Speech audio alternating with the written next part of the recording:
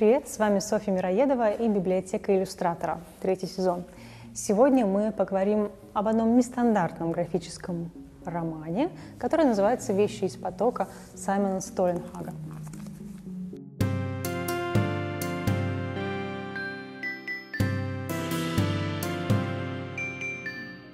Эта книга может быть э, вам известна, поскольку она является продолжением другой книги, по которой снят сериал. Итак, начну сначала. Был такой художник, цифровой художник, современный художник э, Саймон Столенхак. И он очень классно рисовал цифровую графику и любил научную фантастику. И в своем блоге он выкладывал много классных картинок о том, э, что происходит в его воображаемом мире – там какие-то заброшки на фоне каких-то невероятных построек, э, какой-то индастриал с элементами андроидов и робототехники, что-то необычное. Он много-много всего такого классного рисовал, выкладывал, э, и его поклонники сказали, слушай, так классно, а давай соберем это в книгу. И он подумал, действительно, а почему бы не собрать? Но собрал не просто альбом с работами, а сделал настоящий роман. Каждой своей какой-то картинки большой он писал небольшое эссе, зарисовку. Это было как бы воспоминание из его альтернативного прошлого, что вот он жил где-то в Швеции, в каком-то забытом богом городе, а, где производили там какие-то необычные испытания. И не только в Швеции, везде. Вот такая альтернативная реальность, по-моему, 80-х, если мне не изменяет память. И настолько классно у него это получилось, что эта книга стала бестселлером. Она называлась «Байки из петли». Американцам тоже понравилось, и они решили снять целый сериал, который так и называется «Байки из петли». Возможно, вы его смотрели.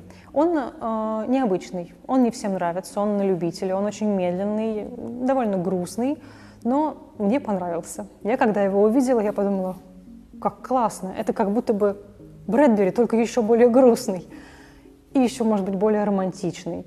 Истории, казалось бы, ни о чем, но они сняты потрясающе классно, и они очень необычные. Я не говорю сейчас про сериал, я говорю про книгу. Это была первая. А «Вещи из потопа» — это вторая. Так что если, к примеру, вы смотрели сериал, но не читали первую книгу, то, в принципе, вы можете начать, точнее, продолжить с этой. Здесь события продолжают то, что было в первой книге. Продолжается альтернативная реальность, жизнь вот того самого мальчика, альтер-эго автора. И он э, рассказывает небольшие как бы, истории о тех или иных э, событиях, которые происходили в его жизни.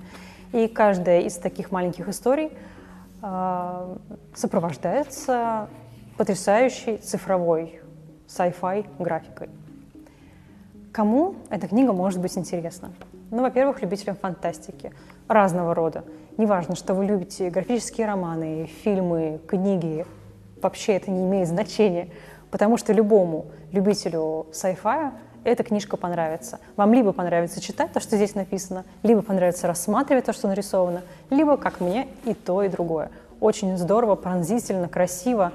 С одной стороны, это не про нашу страну, но такое чувство, как будто бы это происходило или могло происходить ну, где-то на заднем дворе в городе Владимире, где, например, выросла я. Такие же панельки, такие же многоэтажки, только на фоне невероятных построек. Очень здорово, очень пронзительно, очень трогательно, классно, интересно.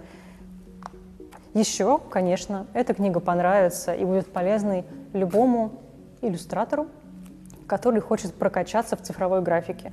То есть если вы будете смотреть, анализировать, как э, Саймон рисует свои работы, где он ставит акценты, как он создает свою параллельную реальность на основе реальной реальности, то, в принципе, вас оторвут руками в индустрии геймдизайна.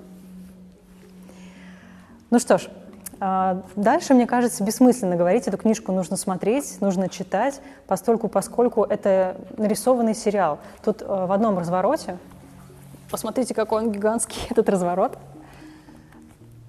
столько трогательных эмоций, сколько, в принципе, в каждой серии того же самого сериала «Байки из петли». Они все классные, интересные, и что самое а, примечательное — что даже если вы не будете читать, что там написано, ваше сознание, ваш разум сам додумает какие-нибудь необычные истории, которые случились с этими детьми в этих э, пейзажах. Этому стоит поучиться. Стоит поучиться так строить сюжеты, чтобы сознание читателя и зрителя дорисовывало целый мир, который находится да, за границами вот этой э, маленькой да, области. Короче говоря, «Вещи из потопа» и «Байки из петли», первая книга, это must-have для любого иллюстратора, который хочет научиться рисовать классную digital-графику. Но также это прекрасное чтиво и настольная книга для любого любителя научной фантастики.